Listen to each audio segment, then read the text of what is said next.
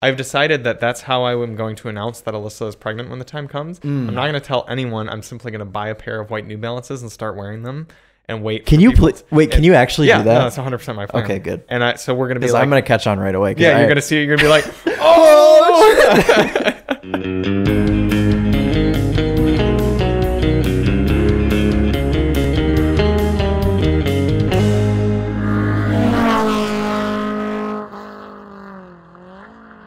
Welcome to episode 33, I hope, of the Daily Motor Podcast. Um, does that sound right? I think it's right. Yeah. 303 or Three- 300, 330, whatever. Yeah. Yep, yep, yep. Uh, Daily Motor Podcast, not sponsored by All-Bran Cereal. No. Uh, Chris didn't bring his, his Forgot gift. to bring. Yeah. I, I gifted Chris a box of All-Bran You- cereal for his birthday. You mean All-Bran sent us a box of All-Bran because we're sponsored. Yeah, that's They right. I knew your birthday was coming up. Well, it was funny that uh, there was actually a commenter on our live stream last week, our live drive, that was claiming to be Chris Brower. And Yeah, what let was that everyone know about? That it was his birthday. Um, I think he like either deleted. His, I think he deleted his account or something. Because I went back and looked at the live chat replay, and all his chats were gone, or hers. This could have been a woman. That's so weird. I Yeah. don't think you can't like. Can you hack a YouTube? I mean, I have I mean, you can, you can, obviously you can, everything, hack but you have anything. 2FA and everything, Yeah. so you're fine.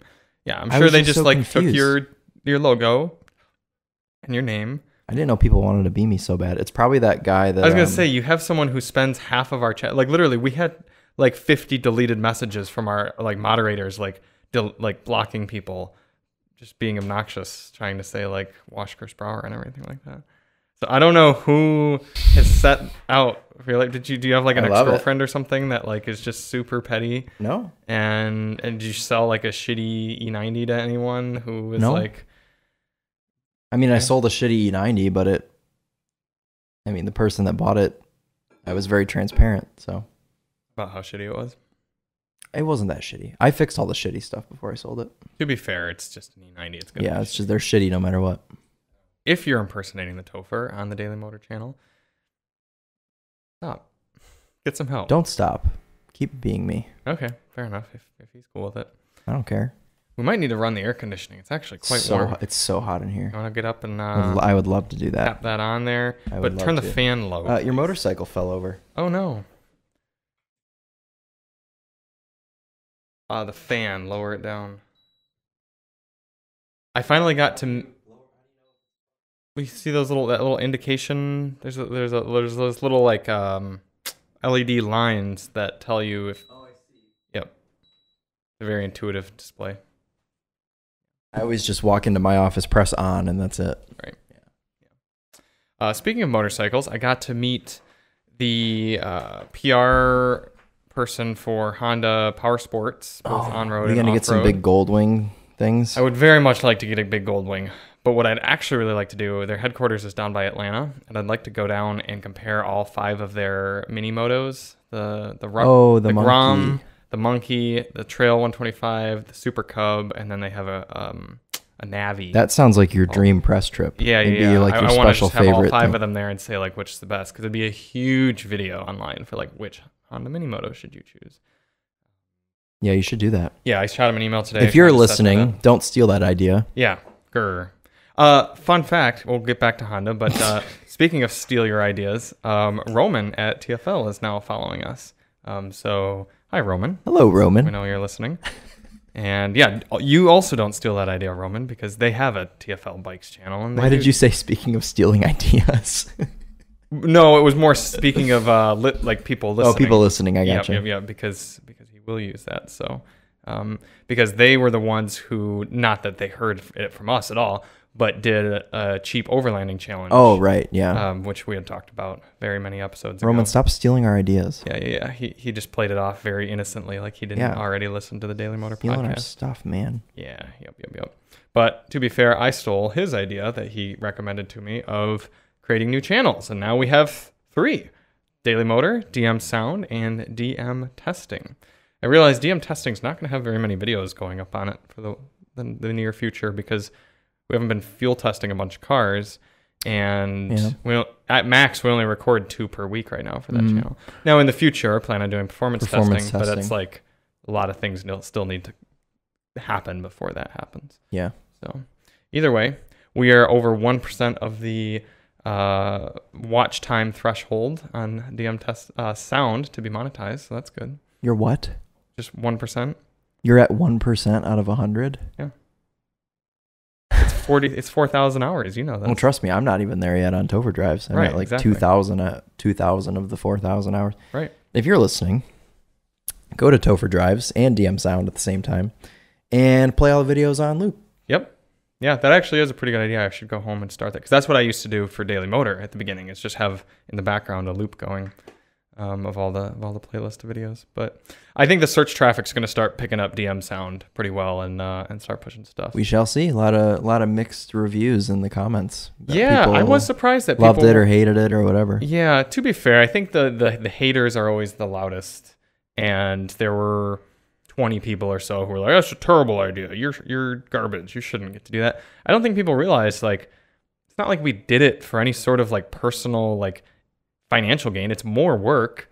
And the main reasons we're doing it are one, so that if people literally only care about one topic of, or, or something, like if they don't want to hear us blabbering away on the DM podcast and don't even want to see them, they can simply sign up to see the sound tests Yeah. and just do that Mhm. and, and bugger off.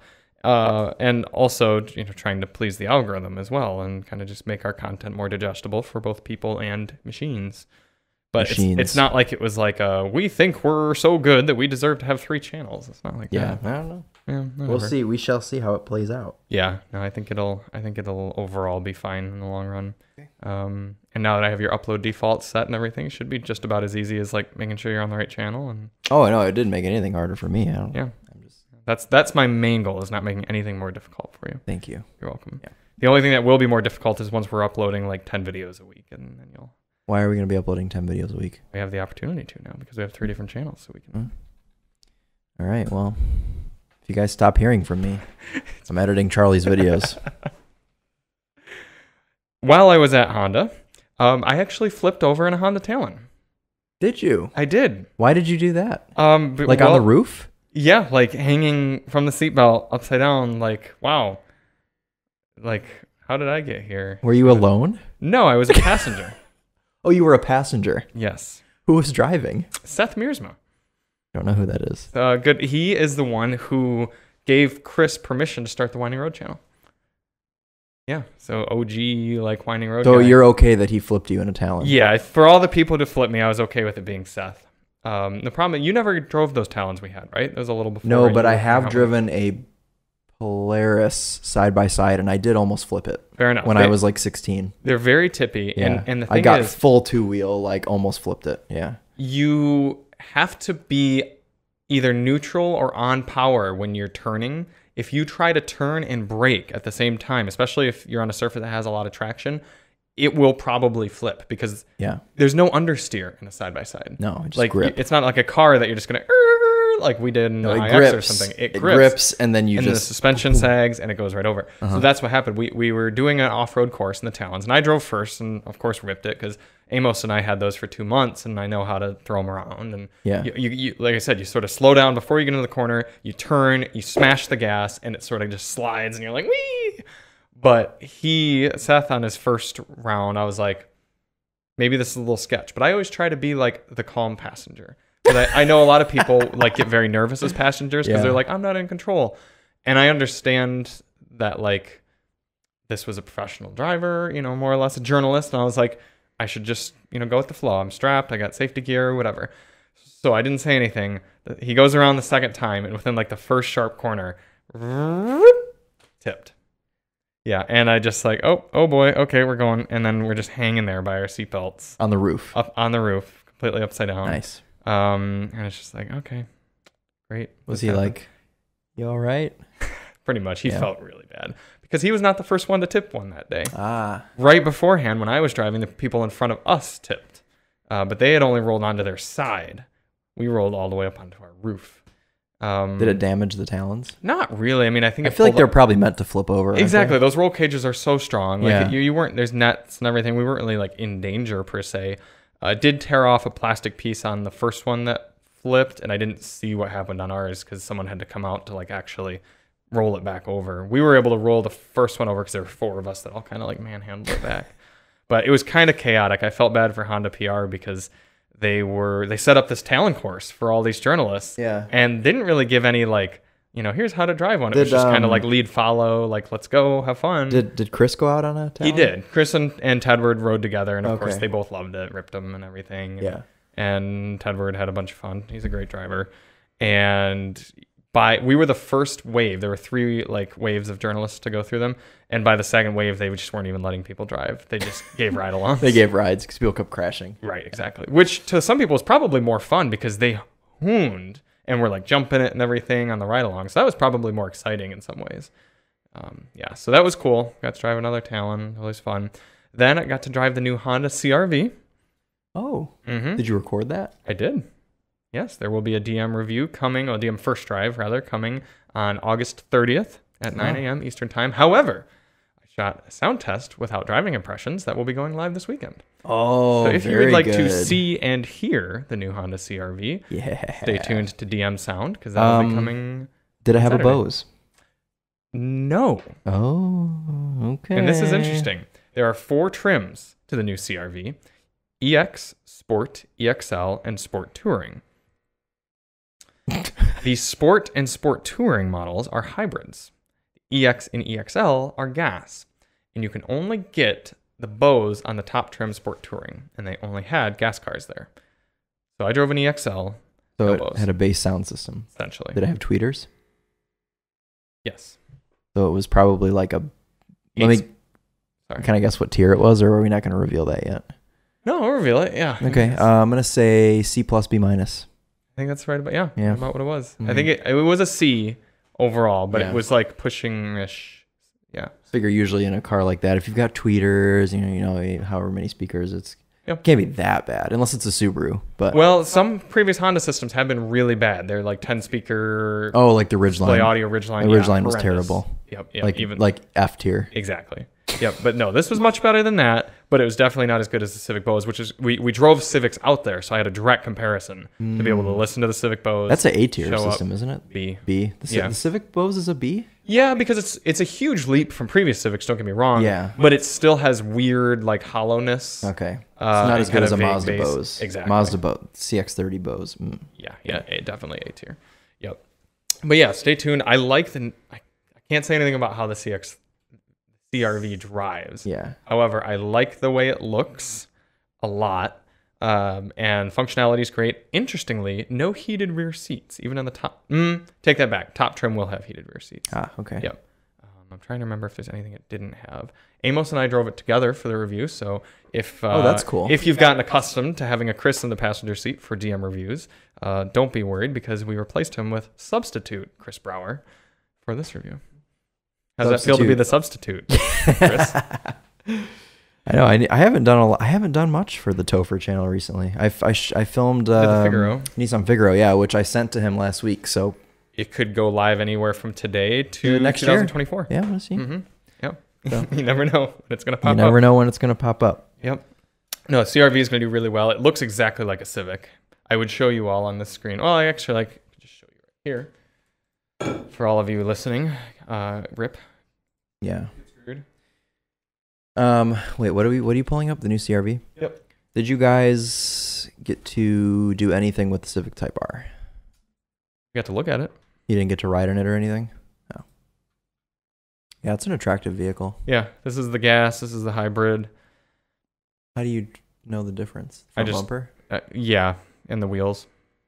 19 inches on the hybrid. So the the high like the higher trim cars are all hybrid. No, the s- the second trim and the fourth trim are hybrids. The first and the third are gas. So what trim did you drive? The third trim. Third trim. Okay. EXL. So it's probably pretty nice. It's still yeah, it's still nice. Yeah, it was uh, very it was well equipped. Can you talk about the powertrain or no? I can tell you that it is a 1.5 liter inline four. Mated to a CVT. CVT. That's all I wanted to know. Yes, but it is tuned quite differently than both the previous gen and a Hmm. lot of the a lot. I, of if I had to guess, I'd say it's probably tuned like the Civic CVT. Perhaps. Perhaps. You can't confirm nor be. deny. yeah, You- I couldn't yeah. tell you, but I can tell you that I I don't know if I can tell you about its torque curves because I don't think that's public information yet. Okay, yeah, don't But- talk about it. One thing that is very cool about the CRV, the load floor is so low. in the back. Like you know how we stand next to and you open the thing up. It's like just above my knees low. And you can make it flat in both the cars. So like you could straight up Honda's big on that. Yeah, Yeah. Very accessible car. Chris Naughton is a big enthusiast of uh, load low- space. Low, low load floors. Well, he was he was very excited. We drove the uh, HRV, the new HRV, Yes. and when you fold the back seats down, they like collapse in on themselves, kind of, and they they like fold further into the car to make a flat load surface for the back of that, This- which is also very low. Right. The HRV has always been a big fan of that. Uh, that's seats. that's the interior. You see, it looks exactly like all the other new Mm-hmm. Hondas. No, it just looks just like a Civic inside. Yeah, but it, it. I mean, it works really well. Heated seat button, smack dab in the middle of the wheel. It's a very BMW thing to do. Smart. It's big brain. Yeah. Why? Uh, I- because there are many um, owners of CRVs who would forget where their heated seat button is if it weren't. Right. See, I like having it on the steering wheel, but I don't like having it in the middle of the steering wheel. I like having it where I can hit it with my thumb. I agree, but Because that you have to like, like on BMWs, I think it's in a, and I don't think it looks good either. I, I think for it's an aesthetic thing for more for me that I don't care for it because you only turn it on essentially once drive, so that's not a big deal. But Yeah, either way, I'm expecting it to be a very good car upon initial uh, visual inspection. I'm surprised honestly that they haven't gone more vibes of the first gen CRV. I do agree with that because everything else is going ruggedy. Yeah, I'm surprised they haven't brought back like the spare tire and more cladding and kind of just like like in the picnic table in the back and like all that stuff. I was just about to You mention know? that there's no spare tire in the hybrid model. Wow. and yeah, big big no no for Yeah. a lot of CRV buyers. And I asked the designer, I was or manufacturer guy or something like that. I was like, "Did you consider just plopping on uh, uh one onto the trunk, like the the lift gate or whatever, like the previous, the first and second? And he said they actually did consider that, but it's too late in the design thing, and it was it was too late to put it on there. But that would have been smart.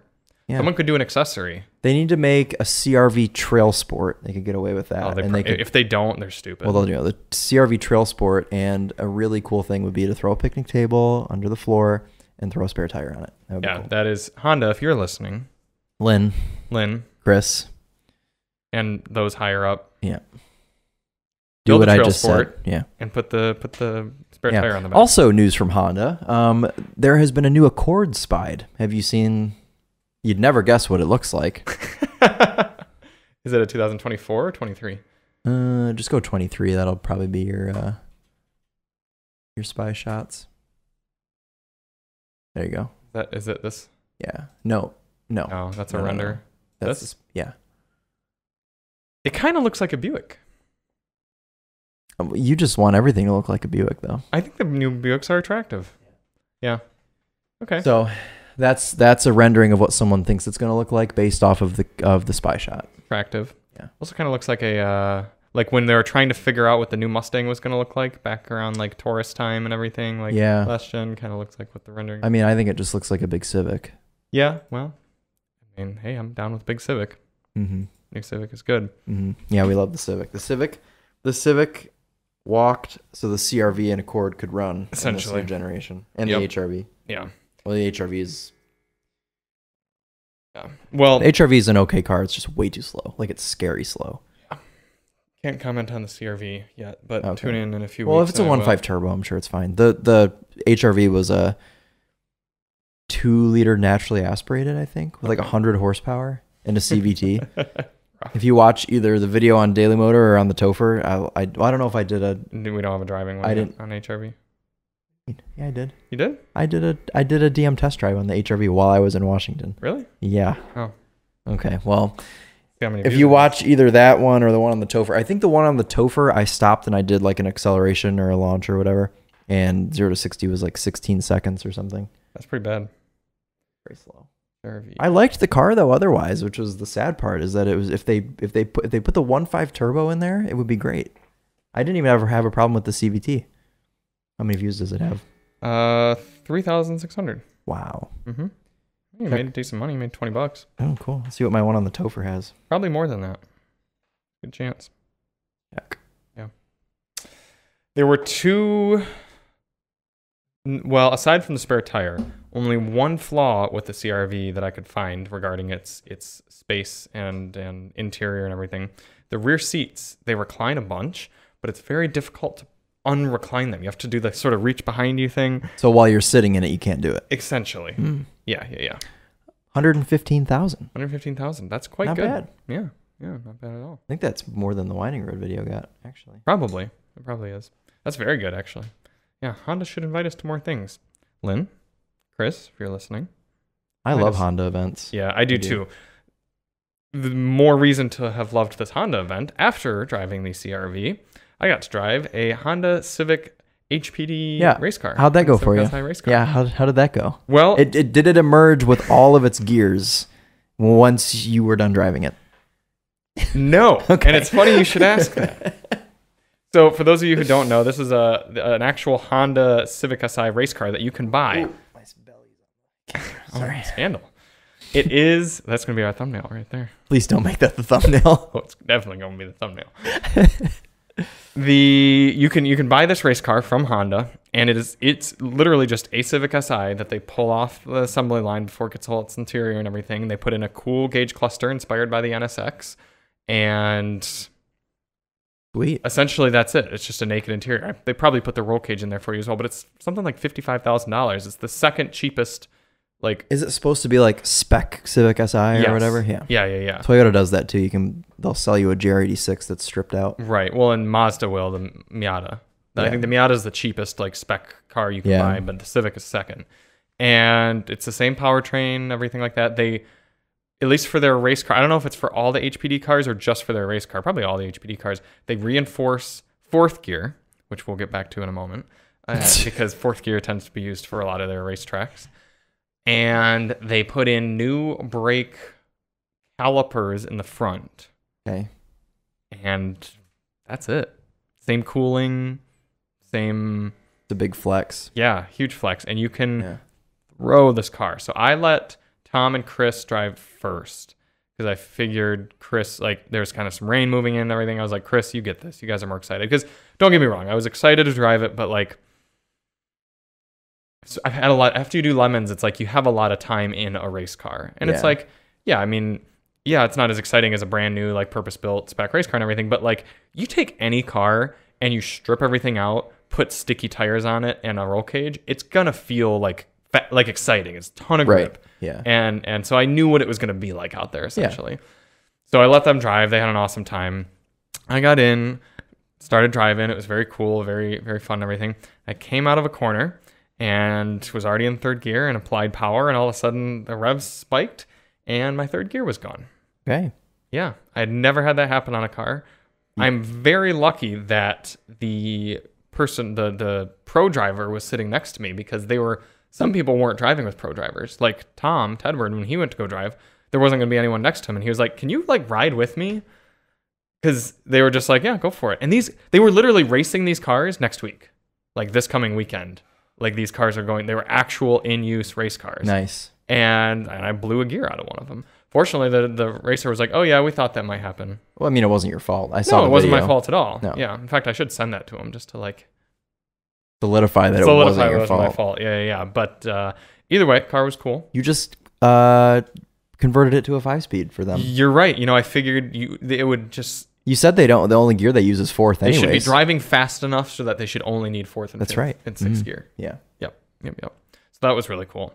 And then after all of that, we got to go drinking a lot. Uh, Nashville Dude, is a Nashville's crazy city. insane. Yeah, I, I went to Nashville or stopped in Nashville when I was 19 on spring break, and it was just like the whole town is just a party constantly. I'm sure it's gotten even more so, Probably. crazier since you'd been there. Probably. So many bachelorette parties. Did you see Oh the um goodness. the the pickup trucks that they make into like limos? Jeep Wranglers actually? Oh, Jeep Wranglers. Okay, I saw one that extended was limo Wranglers that they could stand on the roof and they had like the Yep. yep, roof drinking. those, except they were F150s that they. Yee. But it was the bed that got was extended. I'm sure that's, That's a very cool. safe, Oh yeah, Sort of super thing. re- pro, pro, you know very rigid vehicle. Yeah, yeah, yeah, Well, they have to be for all those bachelorettes jumping around.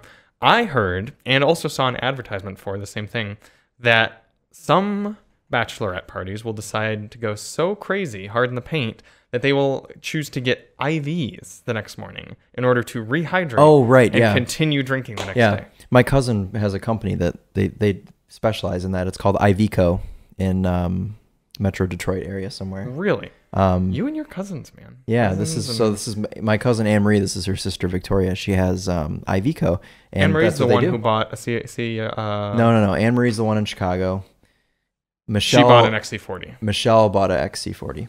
Shell bought an XC. Michelle bought an XC40. Who bought a CX50, CX5? Michelle. That was before the XC40. Uh, She had a CX5, and I have a lot of cousins. Who was the one who had the Nissan Rogue? That is my dad's cousin. Oh, I see. So my second cousin. Okay. Yeah. Anyway, you have a cousin does IV. A lot of cousins. Who around Detroit needs that. IVs the next morning? Some people just Party people hardy? like to go get IVs and get liquids pumped into them. So if you're interested, Hit up hit up Victoria and tell her that I sent you Mm -hmm. at ivco.co. at ivco.co. Dot uk. Yeah, Nashville was crazy. Uh, not a huge fan of the country music. I am not. I just Oh yeah, no, I it's it's fine to like listen to in the background. I just no, I really it was played too I can't think of somewhere that Chris Amos and Tedward would rather be less than Nashville. Chris Amos did tend to go to bed at, at an early Well, hour.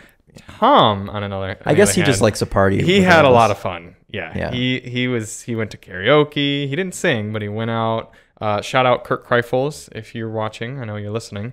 Uh, did some karaoke. Did a great job. Um, Jess from Motor Week also karaoke. Great job. And yeah, it was a, it was fun. Yeah, I love hanging out with Tom. He's good. He's yeah, that was really uh, cool. It was the first press event that Tom, Chris, and I were all at. Yeah, was- I know. I'm was jealous. Mhm. I mean, I wouldn't have been able to go anyways, but Yeah, well, you know, Topher dries once it just. if I can uh, get my shit together and post on I'm there, be too busy editing Daily Motor videos yeah, and Winding Road, and Topher videos that don't get published. and yeah, Yeah, so Honda, cool. Oh, and then we got to ride in a Honda marine powered boat. dude, what? How many activities are at this event? Sounds Tons of activities because after that, and the boat was very nice, by the way, super smooth, quiet, calm uh, boat motor. Hmm. Is above the. Cool. We just got uh, Lexus UX delivered. The Ux is here. Ux. After uh, the boat was, it's practically just a car motor in in the boat, and it's just What motor very is it? Well, there's different ones, but there's like a two liter and I think a three point. Two liter in a boat? I thought boats had to have like 1600 horsepower to move out of their own way. Oh, not at all. The the motor that we were in was 150 horse, Okay. 21 foot boat. It was so like smooth and Wow. yeah. Why do boomers then put 16 V8s in their boats? Uh, to convert petrol into noise. Right, that's the only reason is to be obnoxious. It's kind of like the people that buy Harleys. Yes, yes. I will point out that at least we've talked talked on the podcast before about the exponential nature of air resistance to speed. Mm. Well, when you're dealing with water, that's even more dramatic. Right. So the, the the power necessary to go 30 miles per hour is going to be much, much, much less, exponentially less than the power to go 70 miles per hour. So you might need like 1600 horsepower to do 90 in a boat that you'd only need like 200 horsepower to do 30. See what I'm saying? So some of those boomers might want to go 90, is what I'm yeah. saying. That's terrifying to think about. A hundred percent. Because if you've ever been on a boat on the water, 25 With feels like 70. No, it does really. Yeah. Yeah. Yep. Mhm. But Honda builds great motors. And of course, they're showing us that their new app is much like a lot of the new car apps where you can like see the amount of fuel in your boat, even if it's down in storage or something. oh, in like the that. boat. I Yeah. thought you meant the car. No, well, it's Oh, like the same app, but it's All for right. boats now. So like, Cool. and, and that actually, at first I was like, that's dumb, but I thought about it more, and it is a good point because if you own a boat and a wife, then when you want to take said wife on said boat and you get to the boat and it's empty on fuel or the battery's dead, your entire weekend and marriage is then ruined. So using the Honda app, you can save your weekend and your marriage by checking the fuel level and the battery level before you depart. That, that's a Daily Motor top tip right there. If you have a boat, Besides like the wife ownership thing. If you're Mormon and you own a boat, Yeah. it should be a Honda. That would be plural, plural wives. Yeah, multiple Mhm. wives. Yes. If we're gonna move on. Should we move on to what we drove? this Not week? yet, because the Honda weekend wasn't over at the boat ride. Then we got to progress to the racetrack where Honda was powering multiple Indy cars. So you went and to the I think just racetrack twice? Uh, yes, we went to the racetrack, the Nashville Super Speedway. Where did you break then- the Civic? That was on Nashville Super Speedway. The race itself, the IndyCar race, was on a street course through the streets of Nashville. Whoa. Yeah, yeah, yeah. Very gnarly. And they had uh, Honda racing all over the place, and they won. They won the race yesterday. So, Oh, the air conditioner is cheering as well. yes, yep, yep.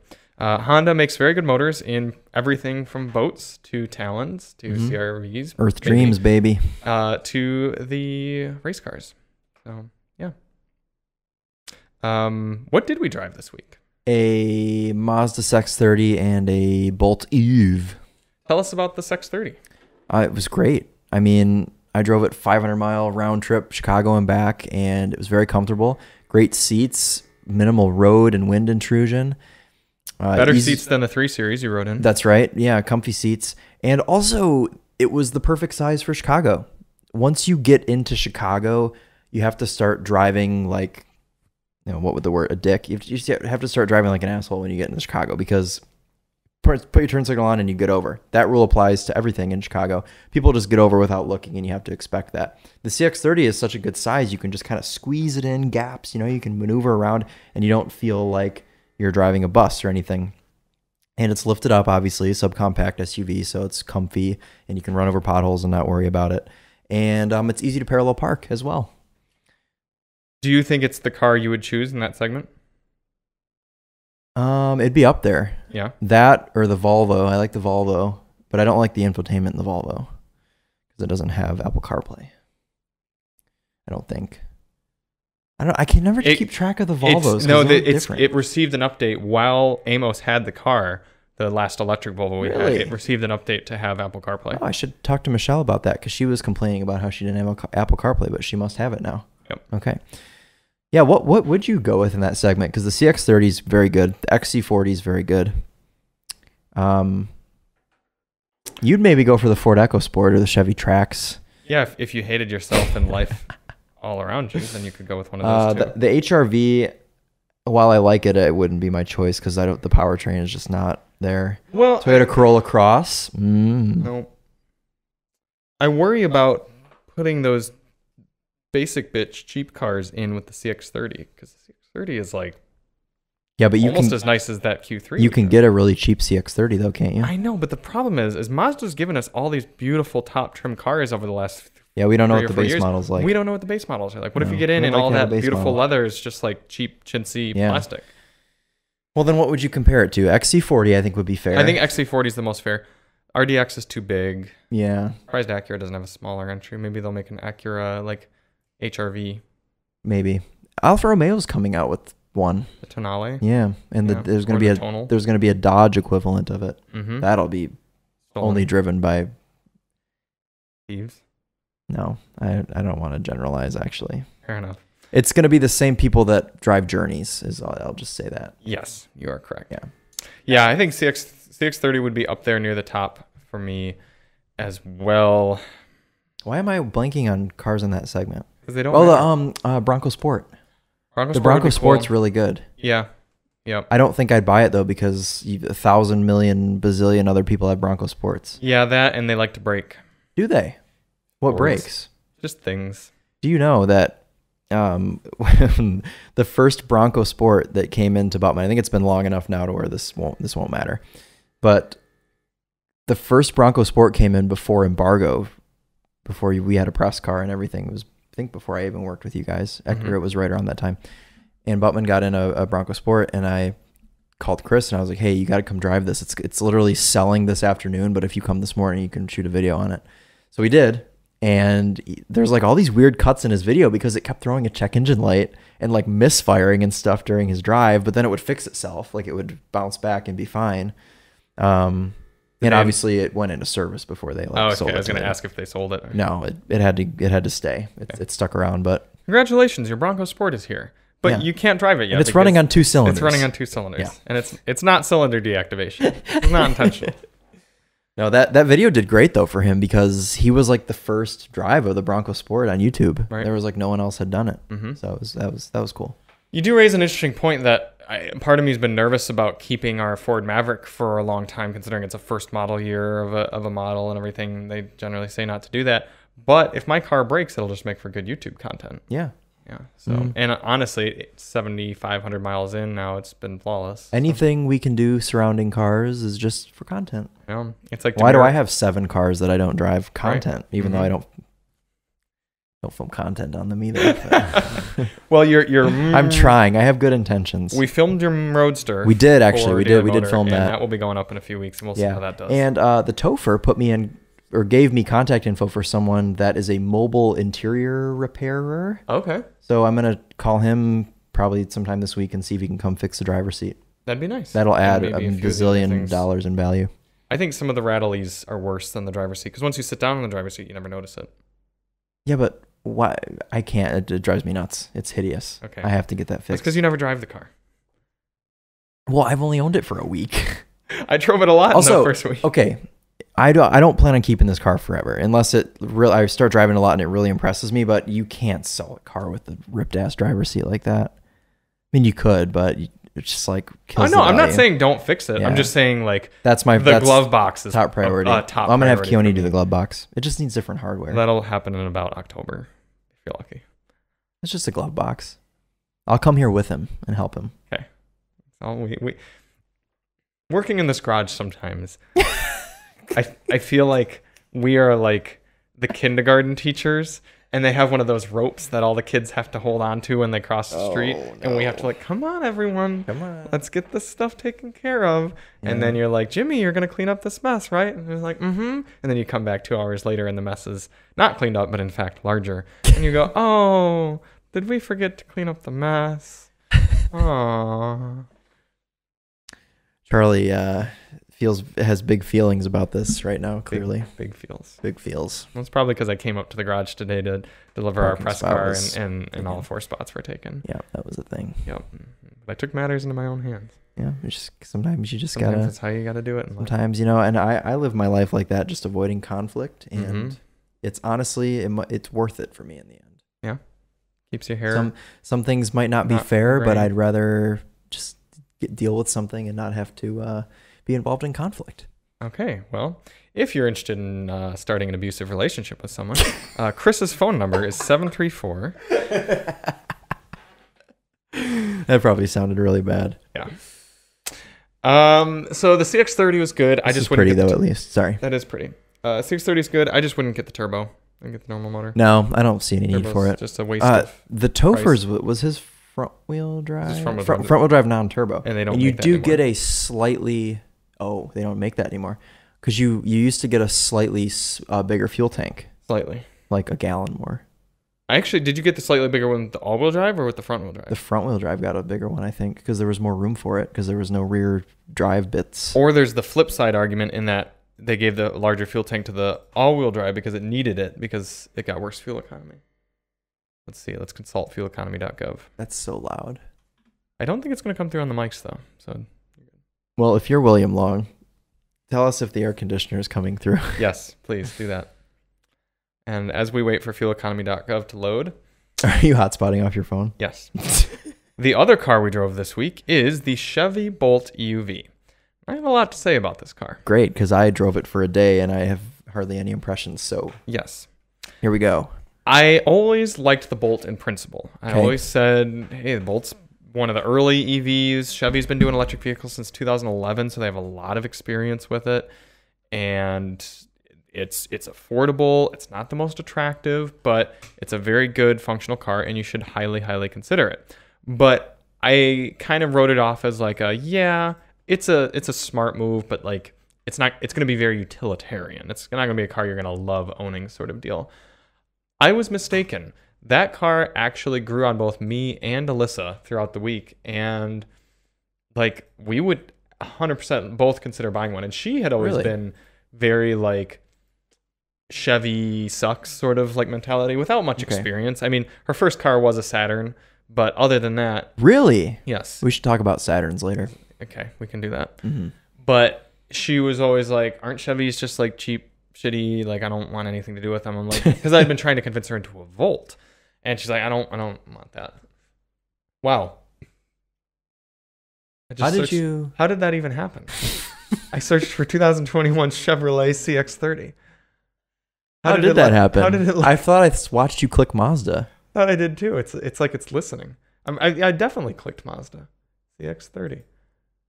There we go. that was weird. okay, so here is 2.5. Is that the turbo? This is the here's two wheel drive. I don't know why they have two listings for them, but here's two wheel drive, and then here's CX30 two wheel drive has a 13.5 gallon tank. No, you are right, Chris. The all wheel drive has 12.7. I was correct. Thank you. yes, you are correct. Anyway, I thought I remembered uh, the Topher telling me that. yeah, Yeah. no, Topher's Topher's correct. Mm-hmm. Tophers are usually correct. Right. But Alissa spent a lot of time in the car. She loved driving it. I spent a good amount of the time in the car. I loved driving it. It's it's much faster than the Leaf. Feels much more premium than the Leaf. Looks better. Mm, I I the beholder com- uh, compared to the Leaf in terms of appearance, but is larger than the Leaf Yeah. and just overall much much better technology. Oh my gosh, we had Super Cruise in this Super one, Cruise, which right. Is not the same Super Cruise I as is on the truck, which I is know. very stupid. Yeah. The Super Cruise and the Bolt will not change lanes for you. No, Whereas the truck, I was will. very disappointed. yeah. I even hit up Chevy PR and was like, "Is something not working right?" And they're like, "No, that's proper." I was like, "Okay, great." Other than that, and the fact, the biggest Achilles heel being that you cannot fast charge it at over 50 kilowatts. That was going to be my thing. Is how long does it take to fully charge it? Well, if you just plug it in at home, it's the same as any other. Well, what if you go to a charge point? How long will it take to charge? If you go to a charge point at twenty percent, how long will it take it to charge? Probably like an hour and a half, That isn't too bad. maybe two hours. Oh, that's a long time. But it's it's fast charging is not intended to be charging it full. What it's intended To to eighty, do, right? yeah, yeah, yeah, that sort of thing. But it doesn't fast charge. It doesn't. It's about four to six times slower than all the other leading EVs. Oh. Ah. So why would anyone buy one? How much is that car? That's the interesting thing is for 2023 model year they chopped a whole bunch off the price, and it's like as spec the one we have parked outside right now, thirty eight thousand, That's thirty what, seven that's that's why somebody would buy one. Exactly. It would make for an excellent second vehicle. Yeah. Like if if we Around got one, we'd keep the. Maverick, and because Alissa's never going to drive more than a few hundred miles Yeah. in, in a day, and it even still it got 220 miles of range on the highway, so not too bad. But here's to to put it into a real world perspective of why the fast charging sucks. Alissa's parents' house and back is a 280 mile round trip. We've made that trip many many times. If when we took the Mach-E, the i4, and the Model Y, they all of them took about 15 minutes of fast charging or so to get home. So we'd essentially go, have dinner, come home. On the way back, we'd swing off, charge, stretch our legs, look at some memes, and we're home. Right. 15 minutes. Bolt, if we did that exact same trip, needed 50 minutes to charge. That's unacceptable because it's going to be 10 o'clock. We're not going to want to sit there Yeah. screwing around for 50, 50 minutes. minutes. Yeah, that's essentially an hour wasted. Whereas, I mean, pulling off for 15 minutes is not a big deal. Yep. So that's that's why we wouldn't own a Bolt. So the top tip is to buy a Kia EV6. Yeah. Yeah. Probably be the closest. Or the new. Niro EV. The Niro EV. Oh, I'm do- excited to drive that. Yeah, and Yeah. that doesn't supercharge very quickly either, but it's still I think about 30% faster than the Bolt. So it's better. Mm. But it's not fantastic. Man, when we had that Kia EV6, that thing charged so fast. Yeah. It like 350 kilowatts. it baby. literally charged so fast. Like I we went to um I went to Meijer and plugged it in and like by the time we were done shopping it was just like charged not not to 80 to 100. Yeah. Like it Mhm. yeah. Yeah. Fun fact though, speaking of electric vehicles, last night the United States Senate passed a bill that, if passed by the House and signed by the president, will re enable EV tax credits for Chevrolet, Tesla, and Toyota. Wow. As long as the vehicle's, I believe, built in the US, which would obviously cause Chevys issues are. for some. Teslas Toyotas. are yeah, the But yeah. Toyotas probably aren't. Right. So if that passes and Chevy doesn't dramatically change the price of the, the Bolt, it'll get that much cheaper. So if you're Toyota and you're listening, uh, start building your EVs in the US and you'll sell more. Or don't, because you'll still sell just as many because they won't be cheap pieces of shit. That's true that build quality will be a factor. Yeah. Yep. So I like the Bolt a lot. I'm not a huge fan of the angry hamster design. Eh, I don't really like the way any Chevy things look right now. Besides the Corvette. I don't like the way the He Corvette. doesn't like the Cor- That's right. I forgot you don't like the Corvette. Yeah. You like the Camaro. I don't like the way the new Corvette. What? looks. I like the 2016 to 2019, but when they facelifted it, they ruined it. Well, they ruined it for a year, but they fixed it now. No, they didn't fix it. They band-aided it. it's it They, was they painted the bumper a different color and Yeah. moved the Chevy badge up. here's a here's a 2017 Camaro. Oh, is- oh right, yeah, no that this this was a good gen for Camaro. yeah, I mean that looks Yeah, excellent. that, that very, does, and it, it has the flow tie. Yep, yep, yep. Very quite good. Even this is just an SS. Looks very good. Now let's switch to a 2022. Well, you're gonna have to look for a 21 because the 22 looks fine. Well, I mean, it, it doesn't look as good, obviously, but so the This isn't too bad. The 21, I know you're talking about the super ugly one, but but you were referring to right now cars. yeah, I don't I think like. that looks. I mean, it's, it doesn't look as good as the 17, so Yeah. I agree with you. Yeah, But yeah. pull up a 21 because that's properly hideous. Like it's was it Cam- was it 21? Yes. No. that's the one you're talking about. Well, no. You're talking about black bumper. yeah, black bumper car. That Yes, that. so ugly. didn't they mess it up in 2019 though? No. For the Uh, maybe. 2020 model year. Oh yeah, There go to the go. orange one. There oh go. yeah, That's there you what you were go. looking for. And then okay, and then the one on the right is the fix. That's what they like switched it to. Yep. Th- They actually call it an emergency facelift. Yeah. An emergency facelift because it's it was so hideous. How could you how did that pass? It's the it it it reveals the systematic breakdown of American auto manufacturers where certain people have authority and power to just push things through without any checks and balances and they come out with shitty designs like that. I mean, it's I've never seen A car that looks It so just- good it gets so doesn't- horrible so quickly. Look at that one. That's not a real car, I don't think. Yeah, go to the blue one up above. This? Right there. Yeah. Those those were the press photos. Mhm. Everyone was shocked. Yeah. And God, a it's ugly. because before it looked so good. Yeah. No, I uh I whoever's doing Chevy design, I know you're listening. I'm sorry. You got to make your cars look better.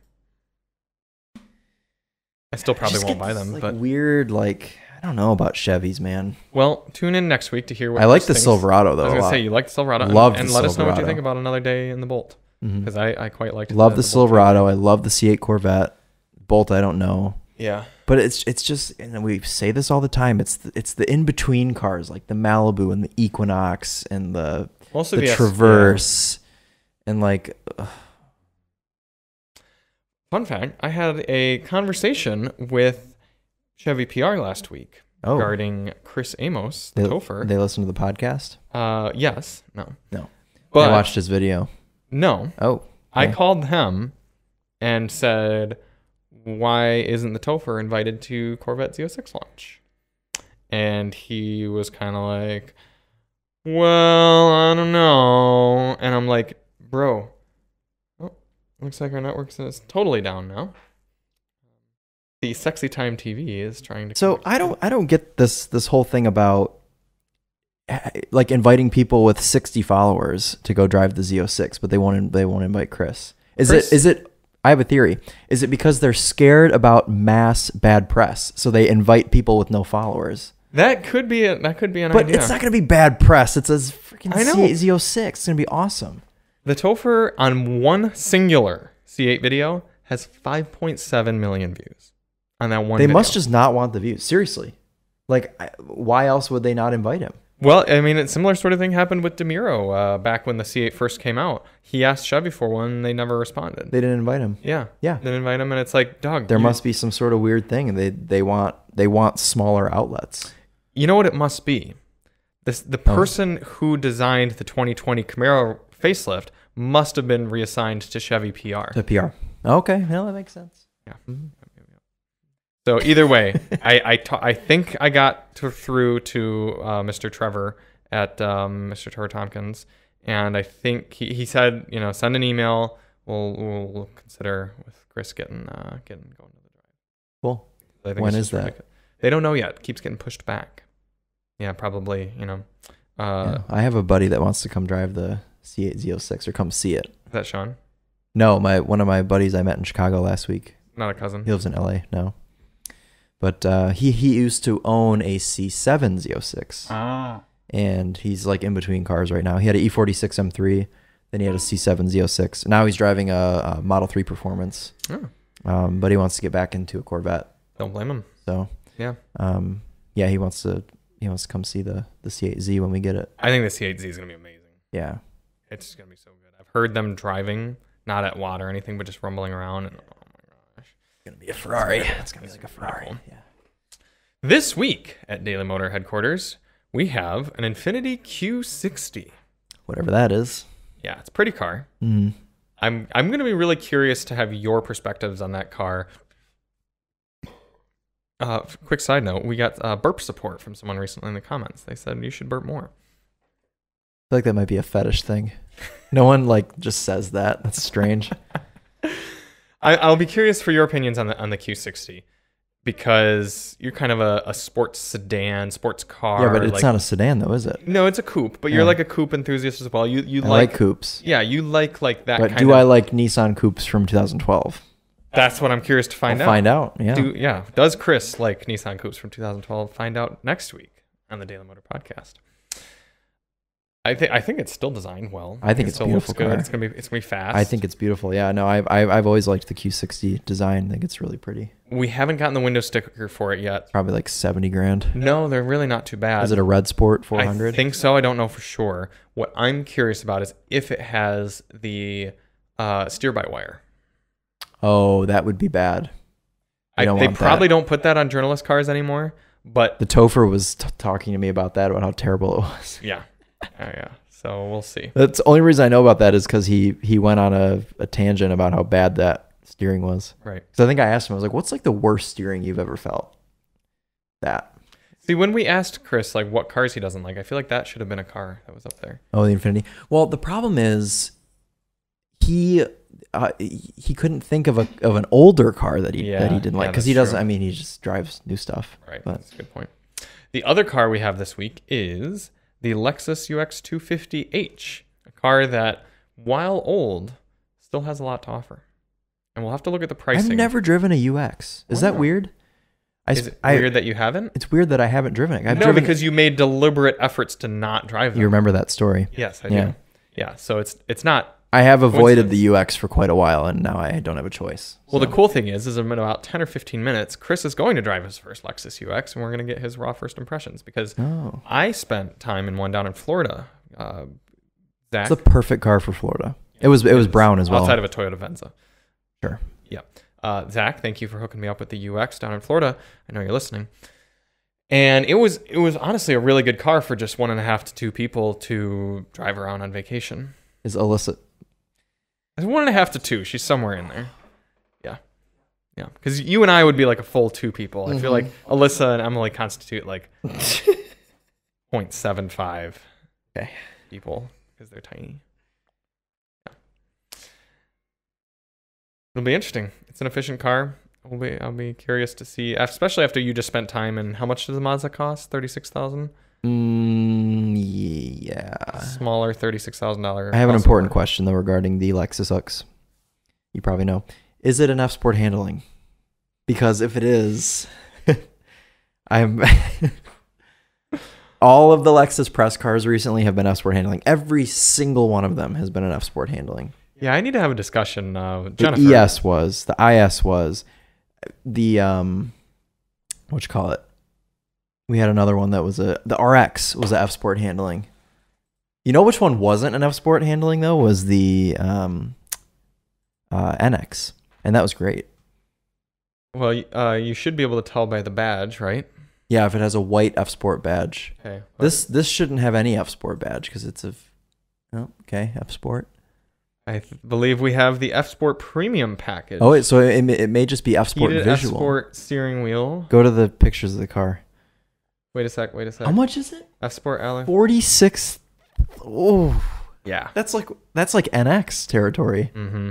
They're competing with their own car. I know. It's a lot of. It's a lot of. you can have uh, an a lot of NX for green. 50 Mhm. and like a nice NX for 50. Yeah. Yeah. I know. Um. Hey then. I guess we'll go back and look at the badge here. Ooh, the wheels look cool. this is a high enough. Well, they're F Sport wheels, don't you know? Yeah. That's not very zoomed in. Can you? You probably. it- I can't see. yeah. Well, we could just walk outside and find out. Well, go to the um yeah. That's gonna be any better. Exactly. High res photos. Who takes these pictures? Well, they're just like functional photos. Uh, either way, Hmm. I'll be curious to hear your thoughts. Any Copart cars for us? Probably not, since you've been gallivanting through Chicago. Dude, the last 2 weeks I've just been like You really ought to make Emily drive so that you can find Copart cars in the passenger. I know. Well, I don't know. I like to drive. You do like to Why drive. did I go to Facebook? I had a realization the other day. I can't remember if I shared it with you or not, or just with Chris and Tom. I don't consider myself as much to be a car enthusiast as I am a driving enthusiast. Mm, okay. I thought about that. You more so than me, though. yes, me me more so than you, but me and and all of us to an extent. Right. Um, like I was I was driving your your roadster back home. Yeah, you had fun. yeah, I cared very little about how it looked, what it was necessarily. I cared about the experience and and the time I was having behind the wheel, which was nice. Yeah. And I think that's why like I'd rather take a road trip in my town and country than I would have like a pretty car just sitting in the garage doing nothing. Mm. See, I, I would like to say that I'm like that, but I'm totally not. I, I love like the art aspect of cars. Like Right. I'm just I love looking at cars. Right. And like you have like the pretty paintings and stuff. I'm like, oh, that's cool. But Mhm. like Bam the the Bam Margera on the, on the Mercy. what it really was that that made me realize it was going through um, Michael Benet's house and his garage and him talking about all his vehicles and everything. Gorgeous garage. Yeah, Oof. and I'm just like I was. I, he told us the story of when he was um, rehabbing and, and rebuilding his 911, his orange one, and he talked about how for something like eight years he spent like nearly every Saturday for like eight hours down at the shop working on Mm-hmm. it, and I thought his poor wife. I seriously did because if I spent all of my Saturdays in at the garage working on cars, Alissa Yeah. would probably leave me. So she they met through racing. Okay. She's a big like car person. Like Okay. she used to race cars, or she probably still does. I don't know Mhm. if she still does, but she may have gone with him. I don't know. That's possible. Yeah, she and I'm not saying that she might have not totally had her own life. She probably did totally go with him, honestly. everything, You know, Yeah. that's, that's fine. I'm just saying If you were in his shoes. car shoes, enthusiast yeah. stuff. And I'm a car enthusiast, but light. I'm more the driving enthusiast. Mhm. How a car feels. Yeah. Yeah. You have a thing? I have a shitty Mercedes if you think it's worth showing. Um, well, I think Will would like to see it. Okay. It's your favorite color at least. It's your favorite color combo anyways. My favorite color combo. Yeah, it is. Blue and brown or green and red? You'll see. Okay. Uh where's the lot number? 510 888 62. Is it from Flint? Yes it is. This is a 2001 Mercedes-Benz E320. I should have said it's your favorite color combo for a LeSabre because it certainly is. Oh yes, I was gonna say. In general, I don't like. in, in general, it's not, but for a LeSabre, it certainly is. This is Mhm. like the Mercedes version of a of a early a two thousands LeSabre. I always very much liked these E classes. Yeah, the only problem with them is they rust out so bad. Oh, do they? They do. You can see that one's got some rust starting. Little V6. Okay. You know, A little optimistic on their estimated retail value of seven thousand dollars. there's no way. hundred thousand miles, Well, two thousand one Mercedes. yeah, I mean, you know that the retail value is value once fixed.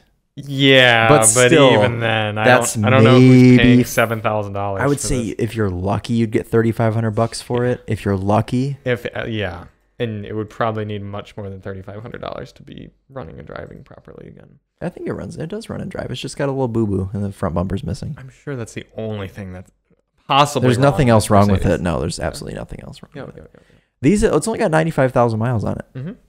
These, at least, I don't think had the uh, biodegradable wiring harness. I don't think so either. No, that was the older ones. That's why it's such a shame because the the W, oh god, W one twenty four, which is the E class bef- before this. I don't know the body code for this one, but um, they were such beautiful cars, and you could get them in all sorts of configurations. You could have a sedan, you could have a convertible, you could have a wagon, you could have a coupe, but um, they just they end up in junkyards in really good shape because the wiring harnesses just like disintegrate Mm-hmm. and you just haven't you just can't do anything you know Right, like wire- yeah, I've seen- fix.